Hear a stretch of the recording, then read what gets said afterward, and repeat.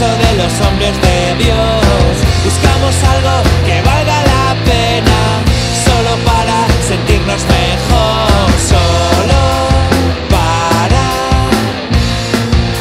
sentirnos mejor, solo para sentirnos mejor.